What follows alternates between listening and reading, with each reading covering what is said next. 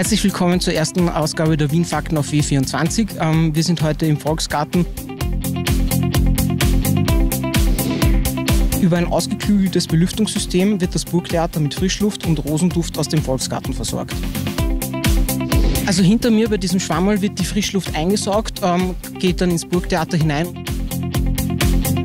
Ich stehe hier jetzt direkt unter dem Schwammerl und wir werden jetzt einfach dem Luftzug folgen.